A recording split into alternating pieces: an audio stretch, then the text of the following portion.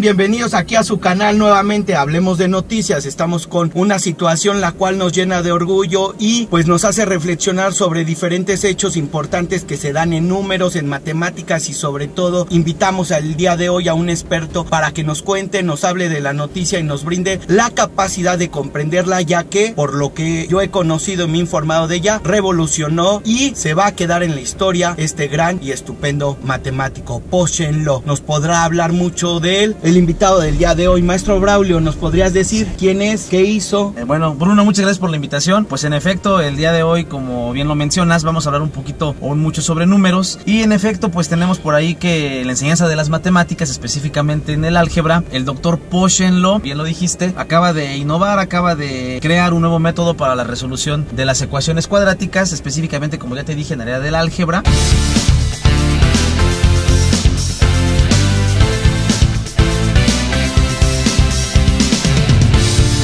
Y bueno, pues esto viene a ser algo importante para todos aquellos que nos dedicamos a la enseñanza de, las mismas, porque pues si bien es cierto que ya hay varios métodos muy buenos, todos por cierto, algunos ellos ya datan de hace más de 4.000 años. Y es cierto, a lo mejor para un especialista en matemáticas, para un profesor de matemáticas o un matemático, pues este procedimiento de resolver ecuaciones cuadráticas es algo muy sencillo, pero para un alumno que apenas está empezando o que se está empapando de esta era del conocimiento, pues yo creo que siempre es importante darle las herramientas bastas y algunas de ellas, pues por qué no decirlo, ¿no? Que le la comprensión de las mismas. El doctor Pochenlo hace esta adecuación, hace este análisis de cómo resolver ecuaciones cuadráticas y descubre un método, un método muy sencillo, un método muy, muy comprensible que yo creo que más de uno de los alumnos y que está por ahí en sus casas siguiéndonos le va a agradecer. Entonces yo, yo creo que esto es importante porque no lo podemos dejar pasar por alto. Es cierto que las matemáticas suelen ser una materia que no a muchos les gustan, que las consideran pues complejas, aburridas, cosa que a mi parecer pues no es cierto. Las matemáticas yo siempre digo, pueden ser todo menos aburridas. Su naturaleza es abstracta, es cierto, pero el doctor Pochenlo con trabajos como este las hace digeribles, las hace, ¿por qué no decirlo, sencillas, las hace comprensibles. Entonces, pues eh, no podemos dejar esto así como que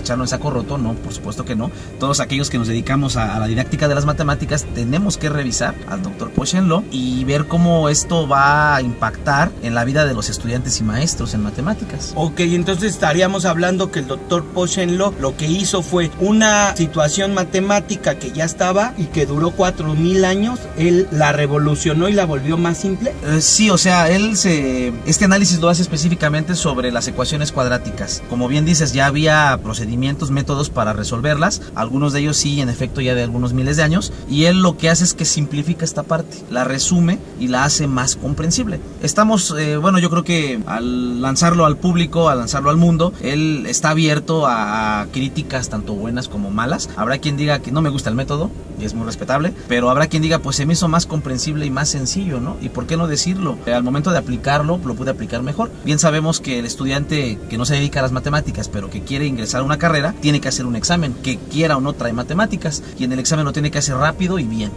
Law lo hace rápido y bien. Entonces es un buen método desde mi punto de vista. Pues muy bien audiencia, agradecemos aquí al maestro Braulio por podernos compartir este tipo de noticias importantes y que revolucionan el mundo de las matemáticas y recuerden que mucho del mundo de las matemáticas es todo lo que tenemos en la tecnología del siglo XXI.